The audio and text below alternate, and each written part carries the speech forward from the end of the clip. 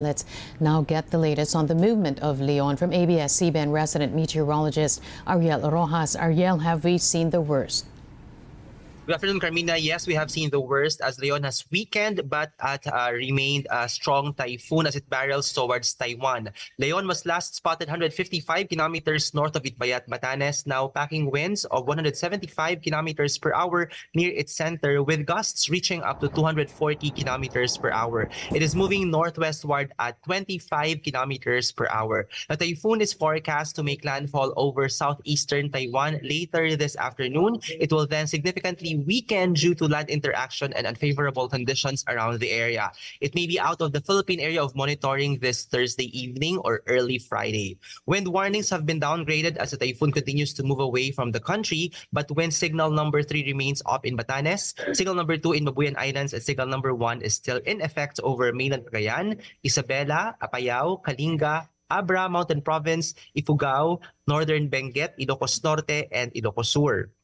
Intense rainfall and strong winds in Batanes and Babuyan Islands are expected to ease up later in the day. However, the trough or extension of the typhoon will continue to bring scattered rains and gusty winds, especially in Ilocos region, Zambales, Bataan, Occidental Mindoro, Romblon, and northern Palawan.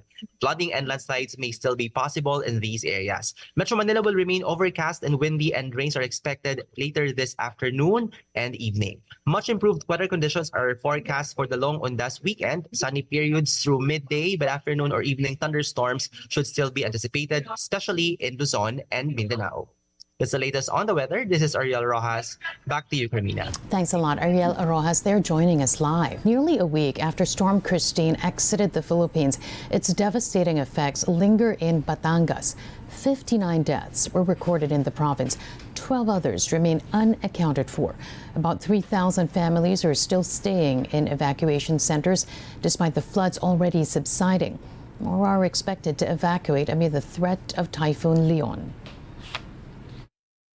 as preparation sa ating uh, Leon and dahil din sa aftermath po ng Christine, nagkaroon din po tayo ng preemptive evacuation dito sa probinsya ng Batangas. So, uh, ang apat po sa mga munisipyo na talagang uh, nagkaroon ng aftermath due to Christine ay nag-preemptive evacuation na din po from uh, Lipa, Agonsil, uh, Agoncillo, San Luis, and Alitagtag. Patuloy pa rin po ang pagbibigay ng probinsya ng Batangas ng uh, iniikutan po namin ito. Patuloy po ang pagbibigay namin ng food packs, And at the same time, pag umiikot po kami, kasama po namin yung mga uh, pagbibigay ng health cluster, health response cluster ng province of Batangas ng uh, medicines kasi uso po ngayon sa evacuation centers yung ubo at saka po ng ating mga, lalo na yung vulnerable natin, yung ating mga senior at saka mga bata. And let's now get an update on the situation at the Manila North Cemetery, which is expecting over one and a half million visitors for the Undas break. Rafael Bosano is there with the latest. Raf, over to you.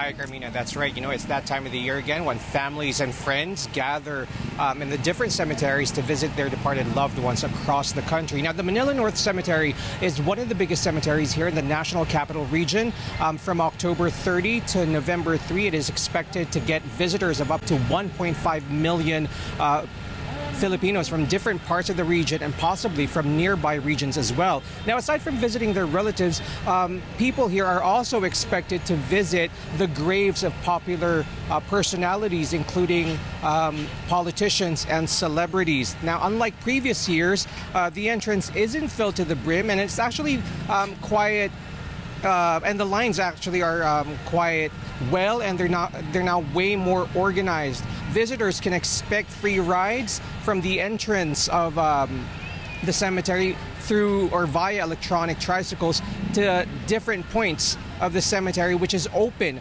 from 5 a.m. to 7 p.m. Uh, from October 30 to November 3. Now, this means that um, spending the night, similar to practices in previous years, is no longer allowed. As you can see behind me, all vendors are, are situated here outside the, the cemetery entrance, so visitors are advised to bring their own food or um, buy them from one of these vendors prior to entering the cemetery gates. The usual reminders still stand, Karmina, and these include the prohibition of alcoholic beverages, sharp objects, and even gambling paraphernalia.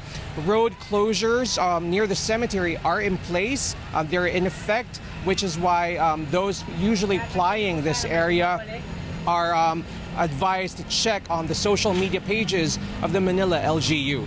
Karmina. Thanks a lot. Rafael Bosano there joining us live.